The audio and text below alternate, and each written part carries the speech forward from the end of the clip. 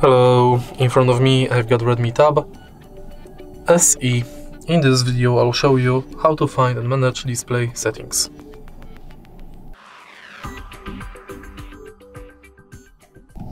In the beginning, let's go to settings and now go to display. Right here we've got all settings for our display.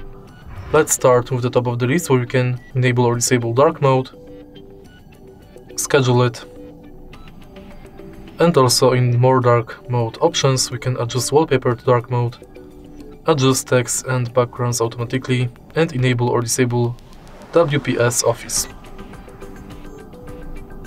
Next, we can change brightness level of the screen, manually or via automatic brightness.